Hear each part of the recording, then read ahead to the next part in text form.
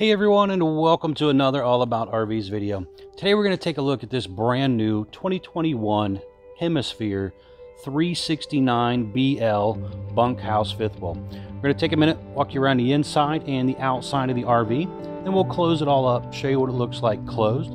Also at the end of the video, we're going to show you a few sneak peek pictures at the new graphics and colors that they're getting ready to change to for their mid-year model change.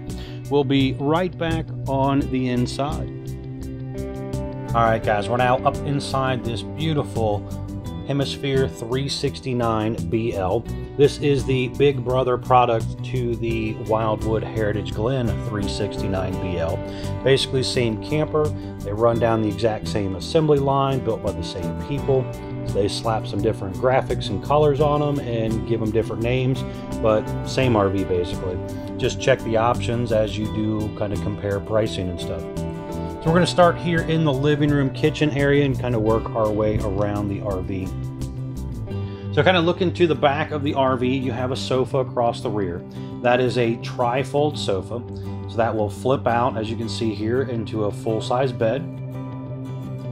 Give you a little extra sleeping room there for some guests. You have overhead cabinets up there. Little end tables on each side of the sofa do have some storage. There's also USB charger and electric outlet on both sides of the sofa as well. Now, the windows have pull-down blackout shades on them. You can kind of see there in the picture, so that comes down, blacks everything out.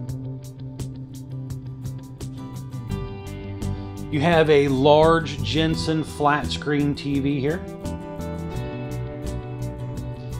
Jensen stereo with indoor speakers, and then you also have outdoor speakers. A little bit of storage below the radio there, and little cabinets. And then you have the Greystone electric fireplace, which is basically a fancy electric space heater, but it's pretty cool.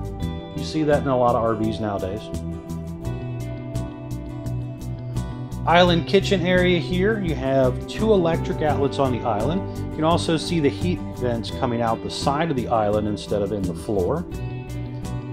High-rise sprayer faucet with a large single basin bowl sink there, a little grated cover. And then there's some storage and shelving also in the island area. And you can see the LED lighting around the toe kick area.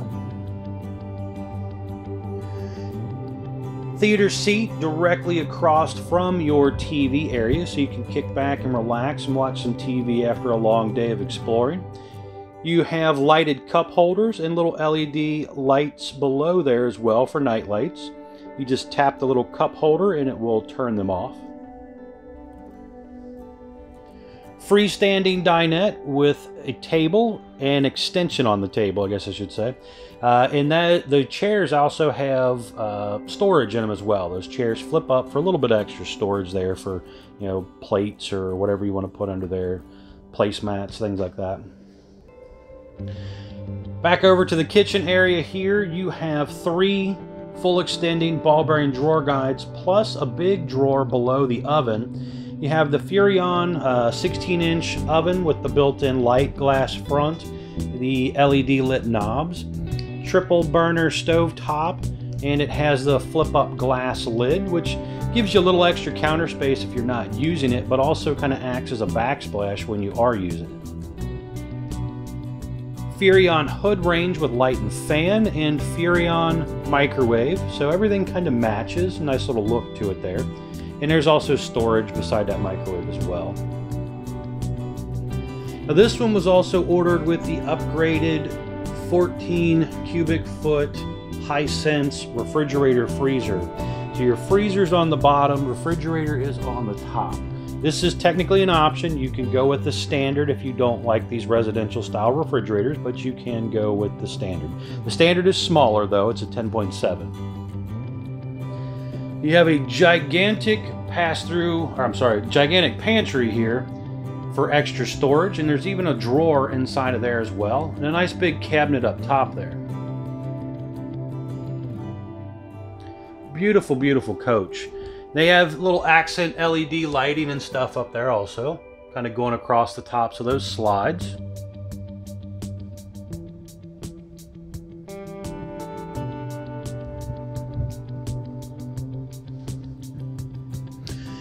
Now here on the side of the pantry area, you have some hookups and stuff here as well.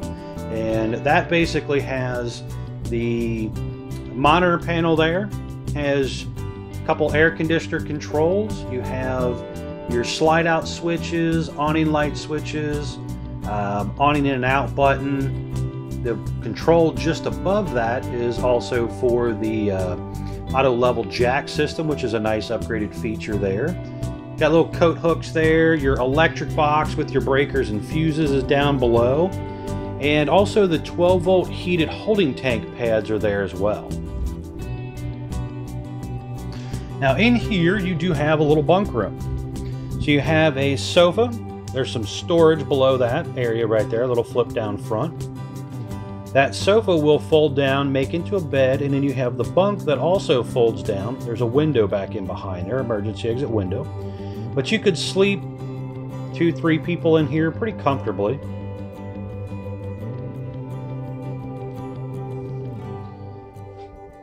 Over here you do have quite a bit of closet space and storage space down below.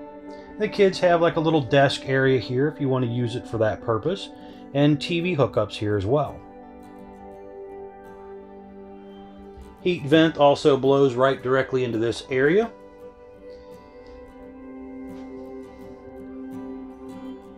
Then there's also an air conditioning vent ducted in here as well.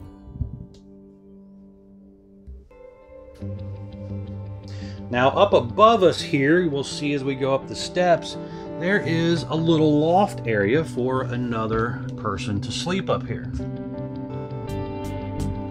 Little shelf area back there as well.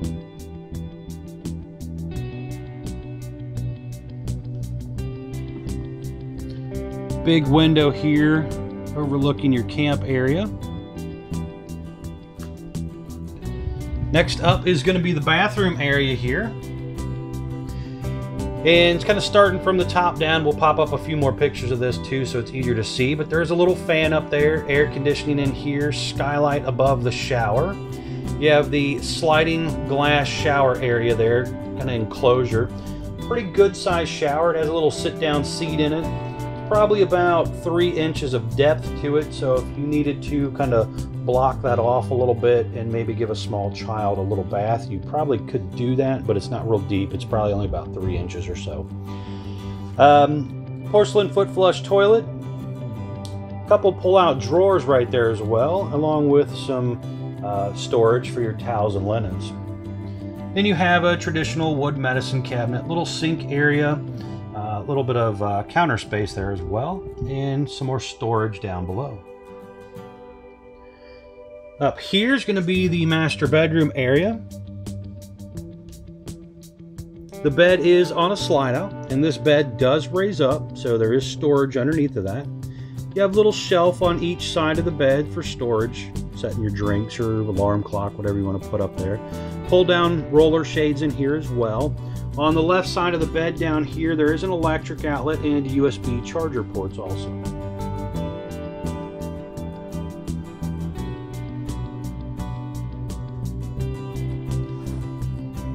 You do have a little three dresser drawer area right there, full extending ball bearing drawer guides again. Room for a good size flat screen TV to go up on the wall there if you want to. Another big window overlooking your campsite area and a little sit down seat area there. You're going to have a big closet up front here. We'll pop up a couple pictures of this so it's easier to see as well. But on this side, when these doors slide open here, you have room for a stackable washer dryer if you want to do so. You got all your hookups there on the side pre-wired for a King Wi-Fi antenna to be added if you wanted to do that. Little robe hook area there. You can see your closet goes all the way across. We'll pop up a picture of that, but there's even a big shelf area back there as well. But quite a bit of room in this RV. Lots of sleeping space. There's even electric outlet and USB charger port on the side of that dresser right there.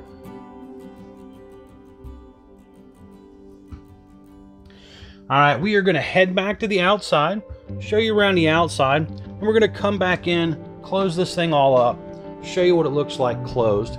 Uh, also, we're going to show you a couple pictures of the new outside exterior that's coming. Uh, again, this is an early 2021. The new mid-year model change is approaching, but I wanted to show my customer this RV for him so he could check it out.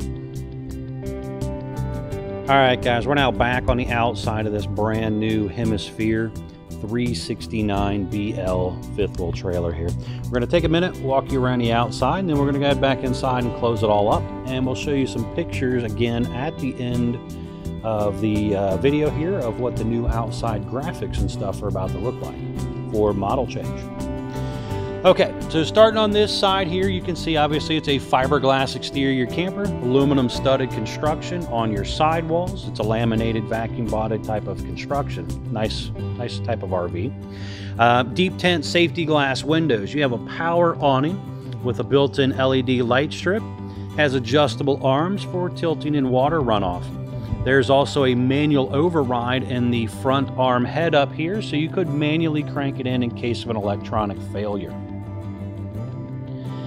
Now on the front lower corner there, there is a solar prep and there's also the pet-friendly leash hook there as well. You can see the little blue lights there. Those are two outdoor speakers, one on each side of that baggage door. So you got outdoor speakers, you can listen to the radio. Big storage compartment across the front section of the RV. Now, also up inside this compartment right here, there is, obviously you can see a light with the battery disconnect there's a light switch for the front cap lights, a bottle opener, and this was ordered with the residential fridge, so it has an inverter right there on the wall.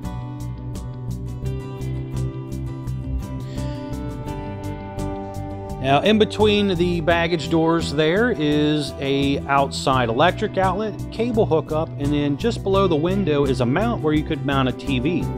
So you could watch some TV outside there.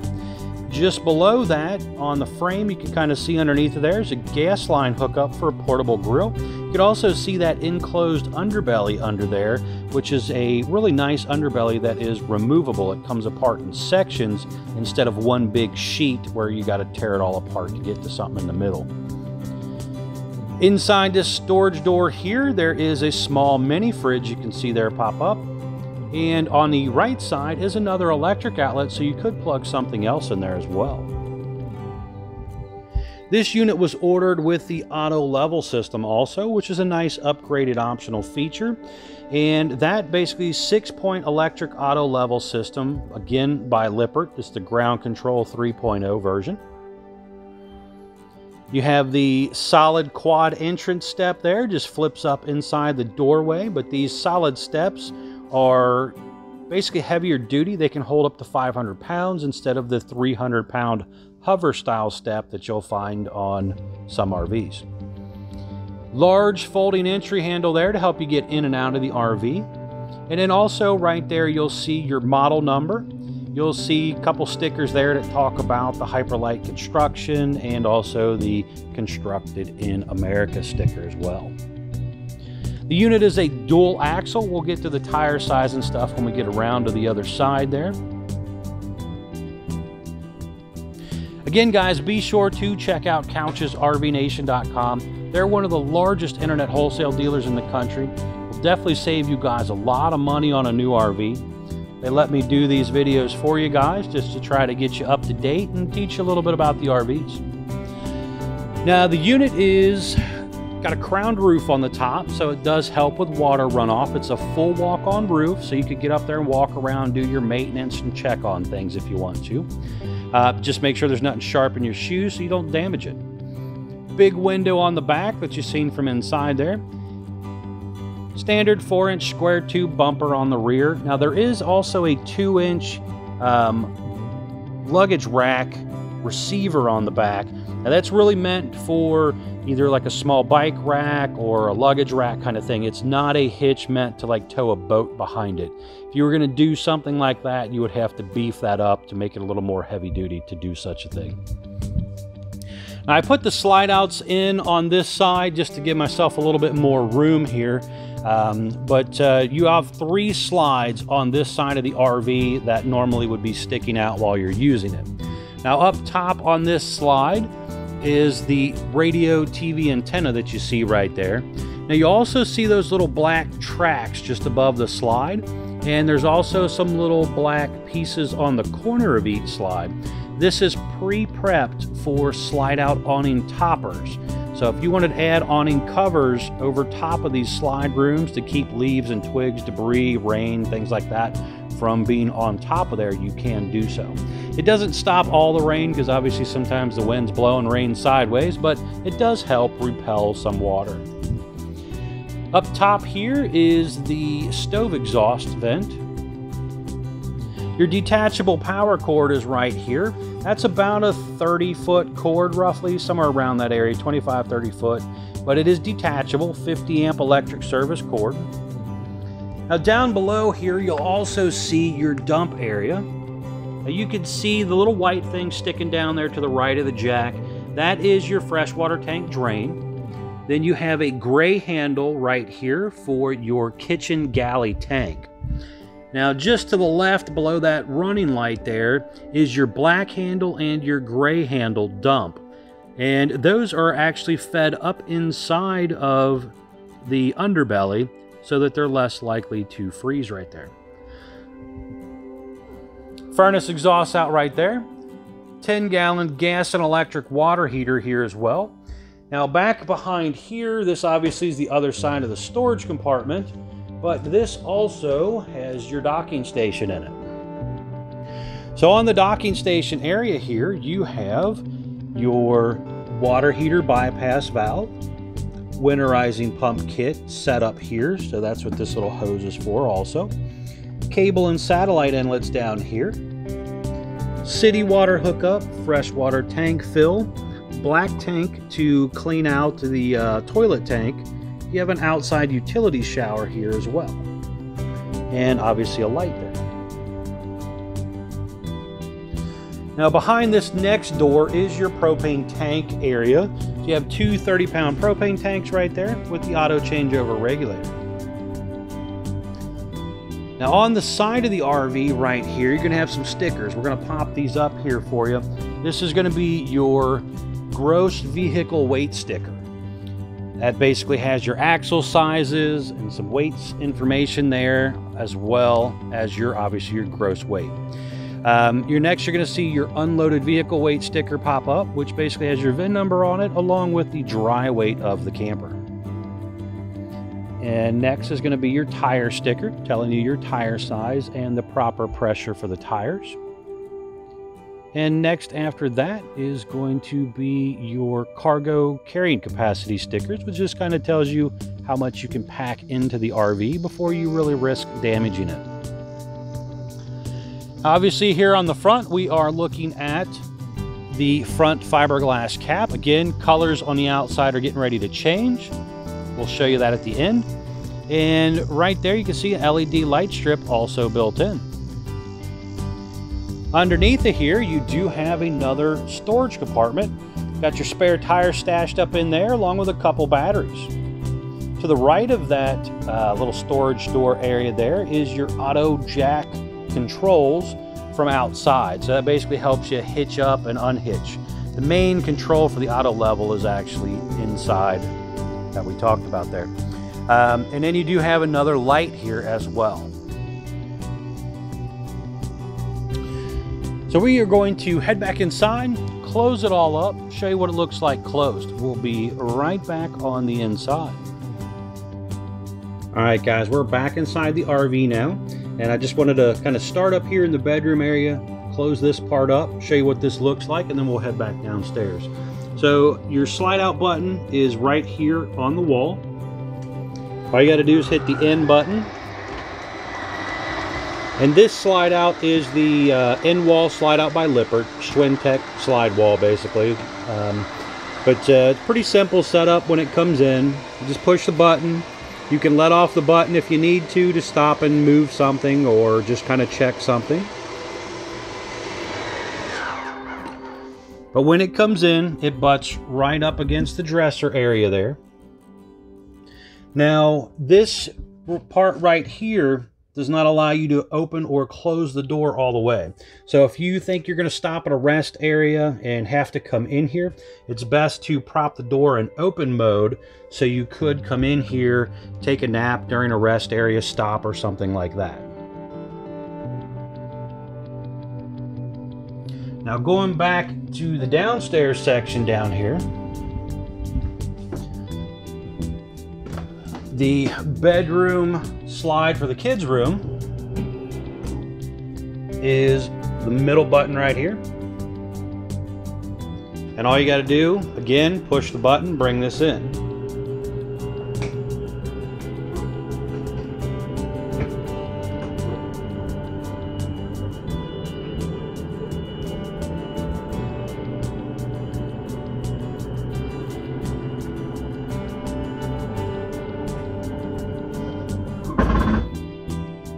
Pretty simple. If you need to come in and out of here, you can do so. Kind of get to some of the stuff the kids may need.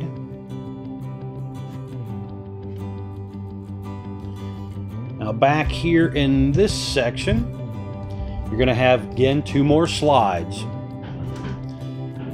So we hit the button to bring in our kitchen slide. This kitchen slide is going to basically come right up against the island for the most part.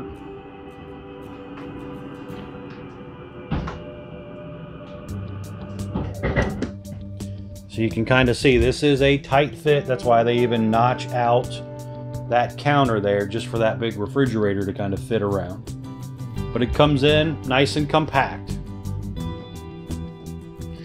And then you got to do the same thing for this big slide.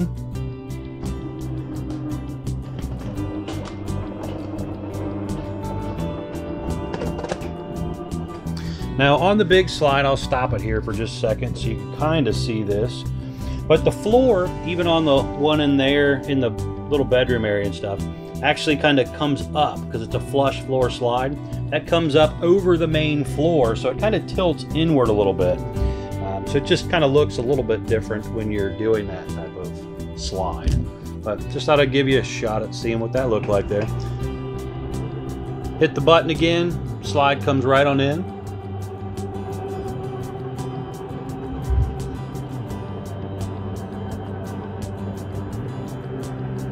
This comes in real close again to the wall right here. Kind of see what this looks like. So when this is in, you can't get to the kitchen area. But you got your controls right there. You can reach up, open up the slide real easily.